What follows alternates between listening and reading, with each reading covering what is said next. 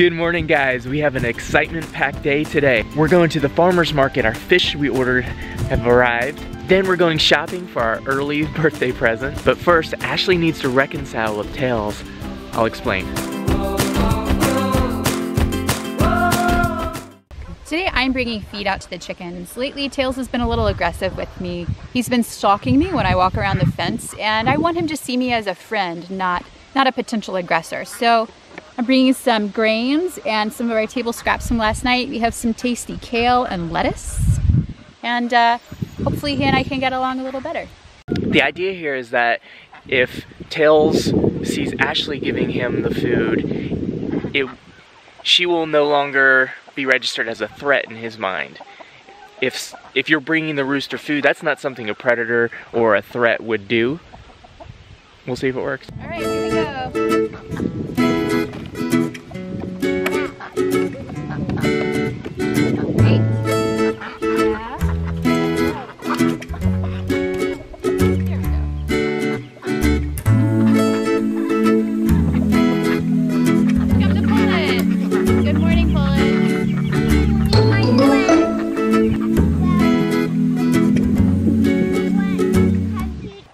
One, two, three, four, five.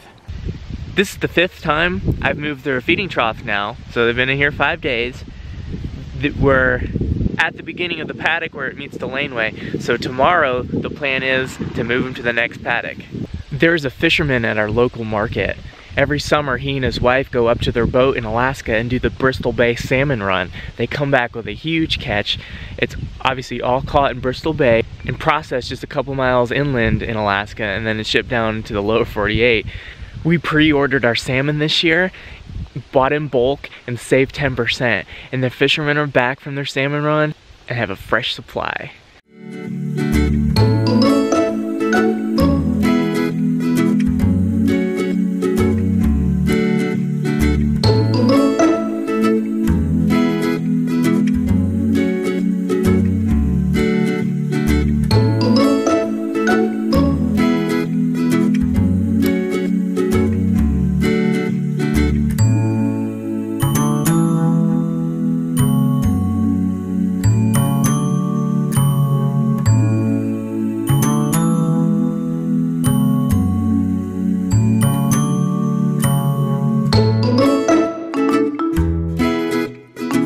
Grandma here has decided that she wanted to get us an early birthday present, something that would help us on the homestead, a tool of some kind. I thought you wanted a screwdriver or something.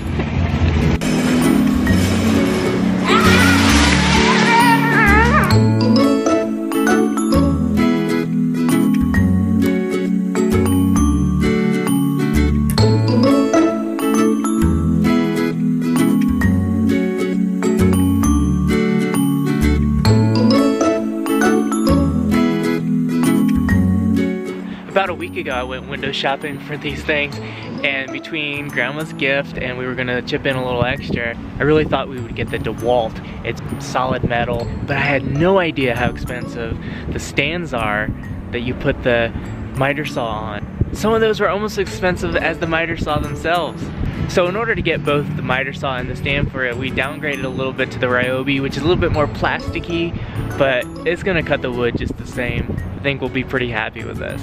So that was birthday and Christmas, right? Yes. Birthday and Christmas present. I'm done. Thank you, Mom. Just don't cut any fingers off, please. Looks like you're getting some soil there, darling. Yes. What's this for? So this is for the garden and I am going to plant some cold weather veggies.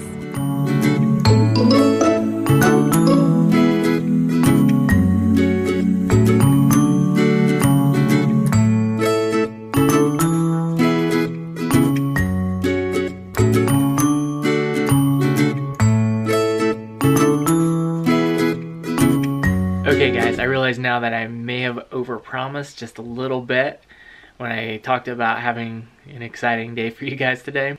The salmon's gonna be awesome. We're gonna do some full recipes with that stuff. And thanks to Grandma, we got the miter saw, which is gonna enable us to do a lot more projects here on the homestead. But I thought I was to get the miter saw back home and start knocking out some projects for you guys. But instead, when we got back, we got invited over to our new neighbor's house. There's a family that just moved in the next block over. They have a, a son a little bit older than little Buddy, so we thought it'd be neat for them to get together. We had a great time. We really enjoyed visiting with them. Little Buddy had a great time playing with their son. But that took us all the way up to dinner time and then sunset. So we're out of daylight to work on any projects today. To make up for it, I did talk Ashley into allowing us to crack open the little mini egg that she wanted to keep. And little buddy wanted to say something really quick. What's up, buddy? Um, It's uh, not focused. There it goes. oh, well, there was a yellow jacket in the trash. So, oh, and I see it. I see the yellow Oh jacket. no, it's crawling out. Hey, mommy killed a yellow jacket with scissors. With scissors? Yep. This is Egbert, and we are very curious what the composition of the inside of Egbert is. So we're going to crack him open and see. Well, that didn't work. This is proving to be harder than I thought it would be. This is turning out terribly. Huh? It's a duck egg. It's not a duck egg. It's a chicken egg with an especially hard shell Uh, and the tiniest Oh my gosh. yolk ever. Oh, wow. big egg. It's really little. and it's a big egg shell. For scale, a regular sized blueberry. I was really thinking there was gonna be like A golden coin. like a, a ruby in it. or Something magical. Me too. Because it was so little and perfect. No, just a very, very tiny yolk.